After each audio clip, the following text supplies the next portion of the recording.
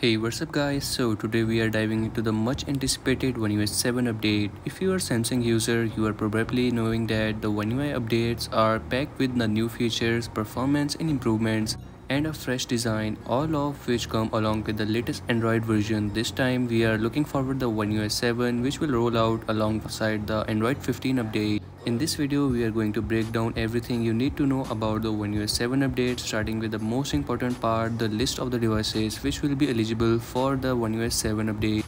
And the latest update that I got on my Samsung Galaxy S22 Ultra is the security patch of August 2024. So according to a website called SamMobile, we have the device list on the devices on which we will get the One UI 7 update, which includes the Samsung's flagship S24 to S21 series and the A series such as A33 to A35 and A23 to A25.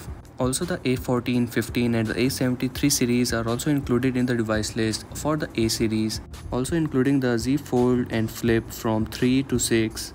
Also there are some other devices of the M series and F series and the Samsung Galaxy Tab series including in the One UI 7 Android 15 update.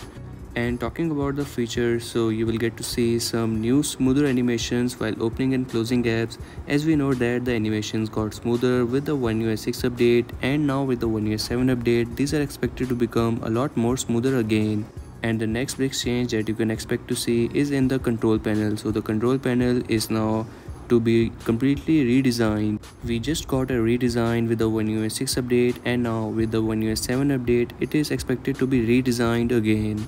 Also this time around we are rumored to see a new battery health feature from which we will get to see the battery health of our device and the same battery health feature is seen in the iOS devices we might get to see a battery health feature on our Samsung devices as well now which will help us know that when is the right time to replace our battery and now if we talk about the release date, so the One UI 7 beta version was to be released in the month of August and now the month of August is about to end and there is no beta version yet.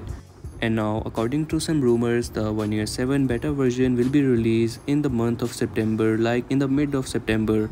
So we have to wait for the beta version from then we will get to see the new features that are expected to come with the One UI 7 update.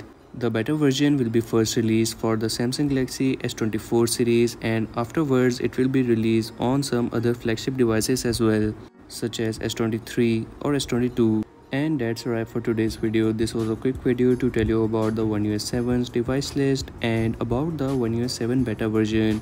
If you are new around this channel, make sure to like and subscribe as I will keep you updated with the new updates.